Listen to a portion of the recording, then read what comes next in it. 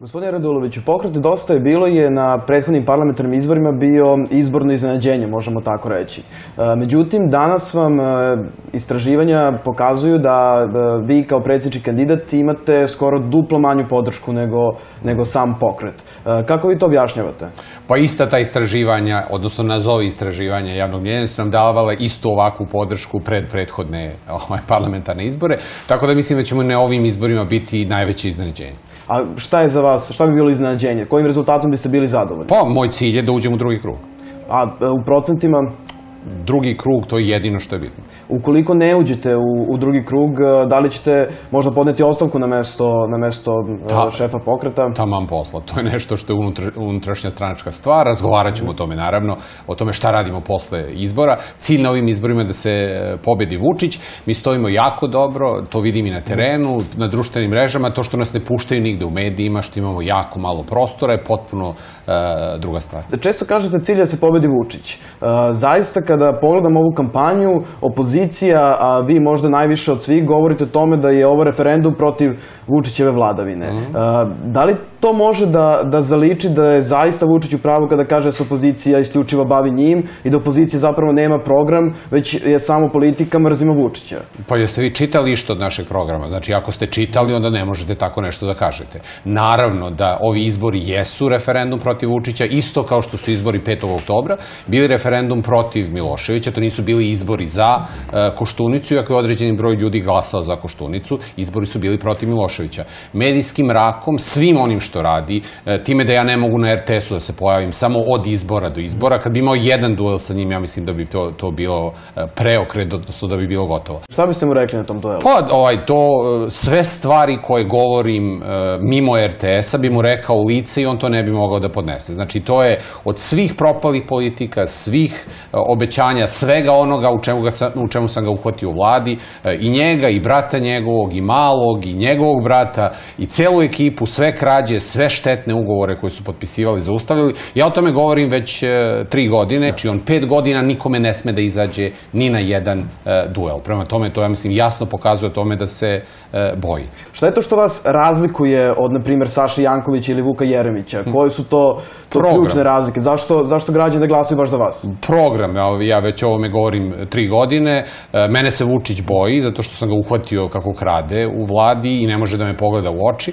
Očigledno je da ima ozbiljan problem sa onim što govorimo i kako govorimo o tome. E, mi govorimo o tome da je partokratija centralni problem Srbije, da je to ono što mora da se promeni, da je to rak rana taj parazit ubija celo društvo. Govorimo o partijskom zapošljavanju, njegovom trošku, kako to promeniti sa vrlo konkretnim e, koracima, o burazerskoj ekonomiji, o korupciji u svim nje- njenim pojavnim oblicima, zatim o pljačkaškoj privatizaciji, kako se ona odvila. Ja sam se borio protiv toga. I kako mislite da, da program e, sprovedete sa mesta predsjednika? Nakon što, ako dobijem poverenje građana, uđem u drugi krug, pobedit ću Vučića u drugom krugu, nakon toga ćemo imati pad vlade, raspad SNS-a i nove parlamentarne izbore. Raspad I SNS-a tom- ste predviđali i posle I to- prethodnih parlamentarnih, pa se to baš i nije tako ispostavilo. Ja mislim da se upravo tako i dešava i ovaj raskol sa Tomislavom Nikolićem nam o tome jasno e, govori i to će, epilog ćemo imati nakon ovih predsjedničkih izbora. Znači, pad vlade, raspad SNS-a, nove parlamentarne izbore na kojima će, ako mi građani sada daju poverenje, dosta je bilo pobediti imati priliku da sprovede čitav taj program, bez obzira na nadležnosti predsjednika. Više puta sam kazao da ovi izbori nisu samo izbori za predsjednika Republike, nego su izbori za promenu celog Jel sistema. biste ostali predsjednik Republike ili biste ušli u parlamentarnu trku? E, ušao bi i u parlamentarnu trku. Znači, vodili što- biste isto kao i Vučić Ne, kampanju vi- sa jedne javne funkcije. Taman posla, nikada. Nego? Pa to ćete videti kad se završi izbori. Pa da li ulazite u, pa, da li ćete voditi... Kao što rekoh, nikada neću sa jedne funkcije voditi kampanju za drugu funkciju. Više puta ste govorili zapravo da Saša Janković i Vuk Jeremić nakon uh, ovih izbora planiraju da osnuju sobstvene stranke. Je li to razlog zbog čega niste ni jednog od ovih kandidata Ne. uh, podržali? Znači, mi smo pokušali da dođemo do toga da bude dogovor i da bude jedan kandidat. To je bilo i u novembru, u decembru e, prošle godine. Rekli smo, pošto je ovo referendum za i protiv Vučića, potrebno i sa druge strane da napravimo, odnosno da podržimo tu referendumsku atmosferu, da napravimo jedan dogovor oko predsjedničkih, parlamentarnih i beogradskih izbora i mislim da je takav dogovor postignut da bi oduvali poziciju i Vučića i u stvari da bi izgubio sve u takvom Rekli ste i da ćete pristupu. 10 dana pred izbore ponovo Nisam to sesti. tako rekao, rekao sam malo drugačije. Nego kako znači, ste rekli? e, znači, htjeli smo dogovor, razgovarali smo sa kandidatima, ponudili im dogovor, odbili su dogovor, odlučili su da trče solo trke. Pošto su trčali blede kampanje, i jedan i drugi kandidat, imali malu podršku građana, Vučić bi pobedio u prvom krugu da se nismo umešali u ove izbore. Znači, glavni cilj nam je bio i da podignemo izlaznost. Ja mislim da je i moj ulazak, nakon toga ulazak Belog takođe, je podigao izlaznost, podigao interesovanje, učinio jednu dosadnu kampanju mnogo interesantnijom. To vidimo i na terenu, i na društvenim mrežama, u razgovoru sa građanima vidim koji je glavni motivator. To će značajno pomoći onome što nam jeste cilja. To je da velikom izlaznošću dođemo do drugog kruga i u drugom krugu Vučić je pobedio. Naravno, kad sam već ušao u trku, cilj mi nije samo da učestvujem, nego hoću i da e, pobedim, zato što pobedom na ovom, ovim izborima mogu posle toga da garantujem i po- pobedu pokreta dosta je bilo na parlamentarnim izborima i onda sprovođenje svega onoga o čemu govorimo već e, tri godine. Zašto ste baš vi ušli u predsjedničku trku, s obzirom na to da je gospođa Miroslav Milenović bila najavljivana. U ovoj situaciji kada smo na mesec dana pred e, izbore, e, zbog moje prepoznatljivosti i zbog svega što e, glasači misle, mi smo gledali recimo među glasačima dosta je bilo tri od deset, iako su svi izuzetno opoziciono orijentisani, tri ne bi izašla na ove izbore. U oktobru prošle godine ste rekli da vi nećete biti predsjednički kandidat sasvim sigurno, jer predsjednici političkih stranaka ne treba da budu uh, predsjednički kandidati. Ja sam opisao proces kako se do ovoga do- desilo, znači bili smo suočeni sa odlukom. Ili ćemo dozvoliti pobedu Vučića u prvom krugu, ili će ući u trku i pokušati to da sprečim. Ali- I odlučili smo da uradimo ovu drugu stvar. Ali Što isto se- stvar je govorio i premijer da neće ući u to predsjedničku je trku, pitanje, pa je to je učinio pitanje, to. to je pitanje za premijera. Ne vidite sličnost u Ne, nikakve sličnosti nema. Ja sam jasno obrazložio zbog čega smo to radili. Kad smo to govorili svoje vremeno u oktobru, ja sam recimo tada očekivao mnogo veću odgovornost drugih e, kandidata, da će biti spremni da sednemo i napravimo jednu zajedničku strategiju. Do toga nije došlo i onda kad vam je već odlučeno na takav način, suočeni sa tim da Vučić pobeđuje u prvom krugu, doneli smo odluku koju smo doneli. on. Kada e, govorimo o tome da e, i vi novinare vrlo često delite na, na podobne i nepodobne, ne odgovarate Nikada na, na pitanja no, svih kolega. To nije tačno. Kako ne? Pa rekli ste kolegama Ajte da studija vas- B Informera da nećete nisu- odgovoriti. Oprostite, ako pogledate samo dve epizode na studiju B o meni, bit će vam kristalno jasno da studio B nije medij i da ti ljudi koji rade tamo rade u propagandnom timu Aleksandra Vučića. To više nije samo moj stav, imali ste i Ne davimo Beograd koji je rekao iste stvari i Saša Janković koji je rekao iste stvari i polako svi dolaze na poziciju studio B, Ping, Informer, Srpski telegraf, to nisu mediji i ljudi koji tamo rade nisu novinari. Za istinom, jer to isto kaže i premijer. To je pitanje za premijera i za vas. Znači, jasno je koje mediji, zakonom je tačno definisano šta medij mora da bude, a to je objektivno informisanje. Vi objektivno informišete javnost, ne radite ni po čijem nalogu, prema tome razlika je očigledna. Jel to znači da ukoliko postanete predsjednik, neki novinari neće moći dobiju Taman odgovore na svoje pitanja? Kao i danas, svi novinari dobijaju odgovore na sva pitanja, ali članovi propagandnog tima Aleksandra Vučića ne dobijaju nikakve odgovore, pošto oni treba da se bave svojom propagandom i nisu mediji. Govorite o burazarskoj ekonomiji, malo pre ste spomenuli. E, kakav je to koncept?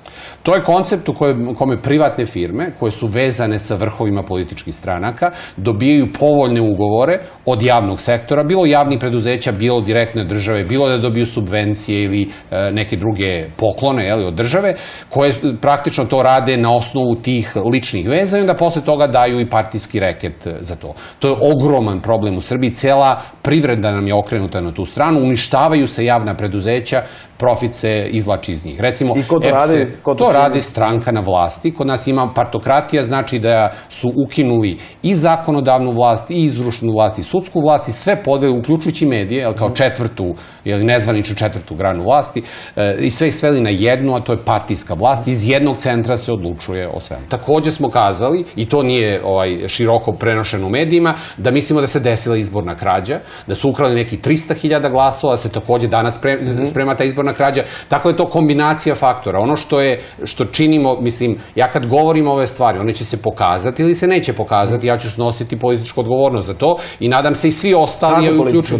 Pa tako što će građani videti ono što govorim, pa će na osnovu toga i glasati na jedan ili drugi način Mhm. e, na narednim izborima. Znači, Vučićeva podrška je negde na nivou 1,8 miliona glasova. To je oko pola miliona manje nego što su imali na parlamentarnim izborima u aprilu prošle godine.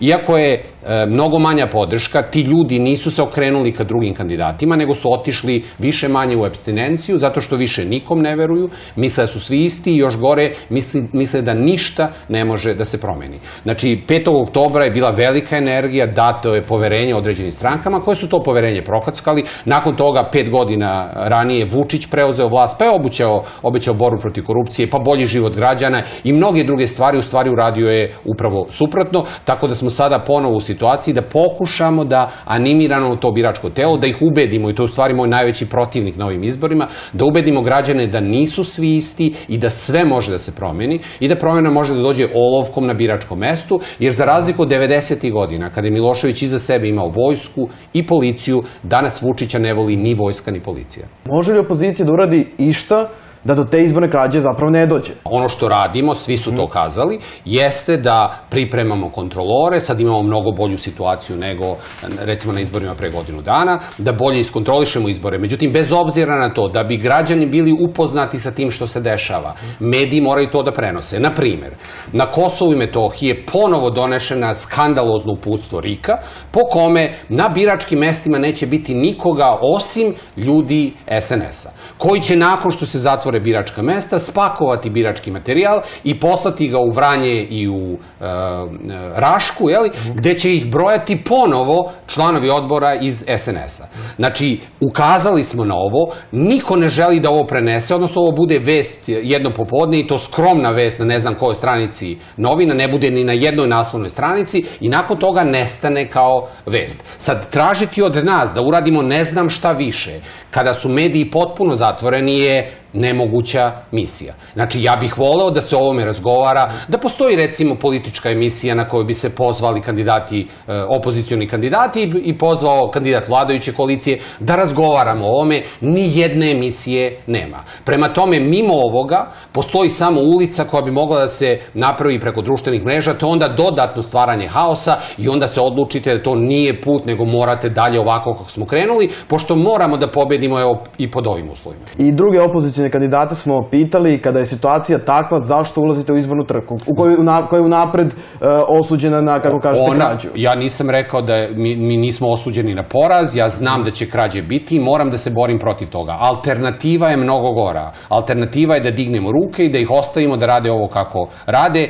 S druge strane vidimo da Evropska unija, lideri Evropske unije, OEBS, ne samo da ovo tolerišu, nego i podržavaju Aleksandra Vučića, odnosno podržavaju autokratiju u Srbiji. Očigledno imaju neke interese koje im Vučić zadovoljava, pa mu sa druge strane isporučuju marketinške usluge slikanja, recimo sa Angelom Merkel. Meni je potpuno neshvatljivo da e, neko ko trči trku za predsednika Republike sa mesta pre, predsednika vlade, što je u Nemačkoj zabranjeno u odlukom Saveznog suda iz 1977. godine, da Merkelova ništa o tome ne kaže i da mrtva ladna učestvuje u njegovoj kampanji. Ona sigurno zna šta se dešava, o čemu se radi, ona sigurno zna kako je stanje medija u Srbiji, očigledno je da im autokrata odgovara. Da li ste bili u Skupštini kada je gospođa Mogherini predstavljala? ne, imao sam razgovor sa gospođom Mogherini nakon toga i rekao sam joj da je napravila veliku grešku jer je ušla u suspendovanu skupštinu, znači u kojoj više nema zasedanje pod zaista presmešnim opra- opravdanjem da tobože skupština unosi nestabilnost u državu za vreme e, izbora. Rekao sam da to nije smela da uradi i da je time u stvari urušila i kredibilitet Evropske unije, jer time je dala legitimitet i tome što je skupština suspendovana i tome što predsednik vlade, što je nezabeleženo u jednoj demokratiji u svetu, sa te pozicije trči za predsednika Republike.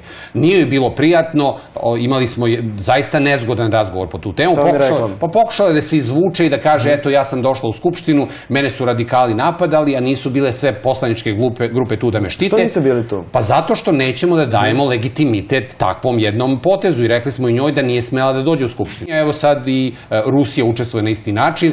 E, Znači, kada je, velike sile isporučuju jednom autokrati markitečke usluge, to ima neku svoju cenu koja se negde posle plati. Samo Šta to... mislite, koja je to cena? Pa ja mislim da su to cena, recimo, o, pitanja Kosova, za Rusiju možda pitanje e, gasa, NISA, velike sile sa svojim nekim velikim kompanijama imaju interese, što je njihovo pravo. Ono što nije u redu je da predsednik vlade moje zemlje u stvari žrtvuje strateške interese zemlje zarad svojih marketinških potreba ostanka na vlasti. Koje su tri stvari koje ćete prvo raditi ukoliko uh, budete izabrani za predsednika?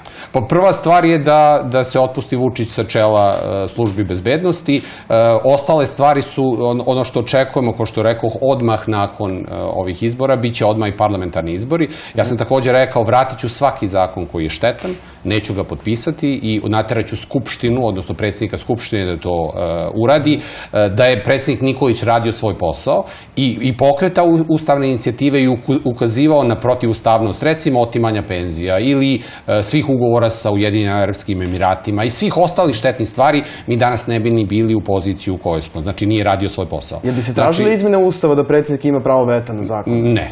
Znači, e, proces promene Ustava je jedan proces koji najviše zavisi od, od parlamentarnog dela, tako da tu kad dobijete neku parlamentarnu većinu, možete da krenete u razgovore o promenama Ustava, međutim, nama je to sekundarna stvar. Ono što je potrebno Srbije je jedno bazično uvođenje reda, pre svega obračun sa partokratijom, partijskim parazijskim sistemom. Kad to sklonimo sa scene, onda ostavlja, postoji prostor za sve ostale promene. Gospodine Raduloviću, hvala vam što ste govorili. Hvala i vama.